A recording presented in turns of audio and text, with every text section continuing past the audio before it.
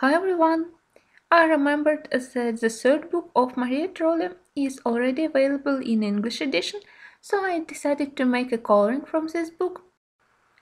I called my girl Flora, and I think that this picture will be perfect for beginners to practice their skills for coloring faces.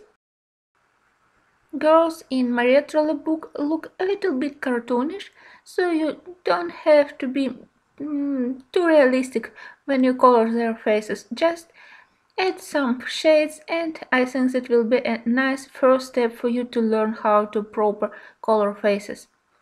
First I will color her hair and I was inspired by the color of the young grass. Just like the young grass, my hair will be lighter at the tips and darker near roots. Hairs also will be darker around her face I will use uh, three different shades of green for her hairs as a main color and I will also add yellow for the outer strands to create the effect of the sunlight and shining.